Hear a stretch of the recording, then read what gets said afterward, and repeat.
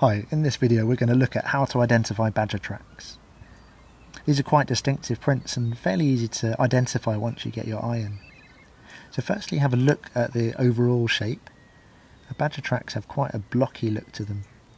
So this is a live track in the sand, this is a cast of a print that was made in mud. It's kind of a bit clearer on some of the features.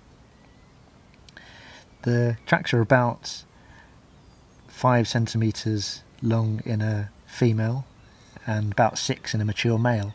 These ones are about five, so more likely to be a female. Remember, we don't include the claws in these measurements.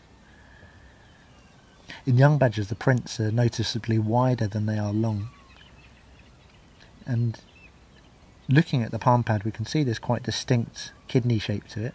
And looking in closer detail, you can sometimes see lobes on the edges of the pad. You can see them just here. Although this isn't always obvious and it only applies to adults. Now for the toes. Like other mustelids, that is members of the weasel family, badgers have five toes on each foot. But as with other mustelids as well, it's often the case that toe number one, which is the thumb toe, doesn't clearly register at all and often you can't really see it that clearly. So the thumb toe just being here or on this cast, you can see it, this mark just here.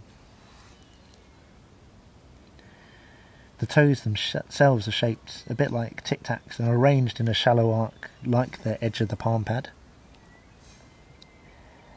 And it's a good idea to develop a search image for this particular shallow arc because with practice it can help you spot fairly faint badger tracks. We see the same arc in the negative space, this area behind the toes. Badgers have really long claws, which isn't surprising for an animal that digs so much, and they're longest on the front feet, and here we can see they're about a centimetre or more ahead of the toes. Again, we can see the shallow arc, and with a bit of practice, you'll see me spotting the claw marks on quite hard surfaces like forest roads when no other sign of the track is visible. A way to tell left from right is to look for the, th the thumb toe, toe number one. So here or here. As I said, it's often fainter and positioned lower down than the rest of the toes.